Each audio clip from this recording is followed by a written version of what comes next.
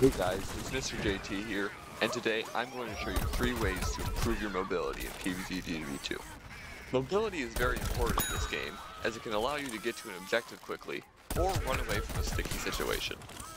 Lastly, it can close the distance between you and an enemy. So without further ado, let's go over the three mobility enhancing tricks. First up is bean bomb jumping. To do this, activate Hyper, then hit jump and bean bomb at the same time, and the bean bomb will propel you forward.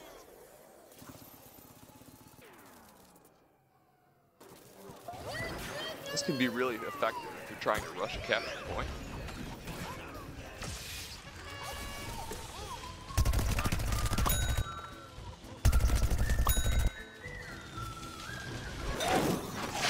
And it can get you away from near-death experiences.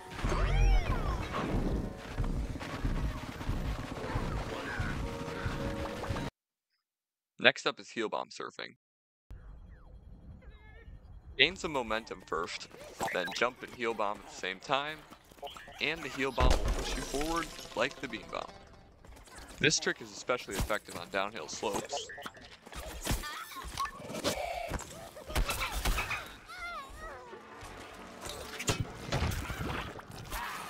You can also use it to glide to a teammate and heal them.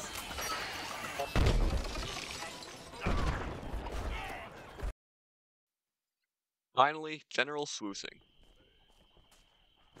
Use your forward propelling ability, then let go of all movement controls and jump when you hit the ground. It works best with Heroic Kick.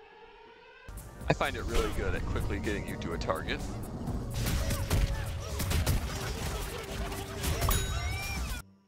It works fine on Rocket Leap as well.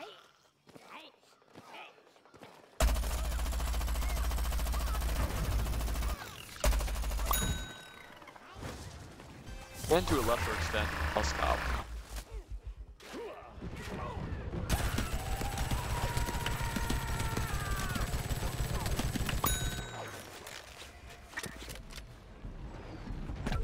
Well, there you go.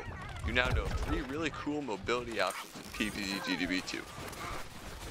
And before anyone points out in the comments, yes, I am aware of long bomb jumping, but I believe that's too hard to consistently pull off.